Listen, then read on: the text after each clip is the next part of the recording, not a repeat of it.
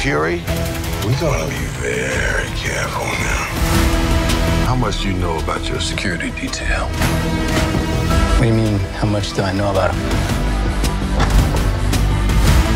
And I'm the last person standing between them And what they really want.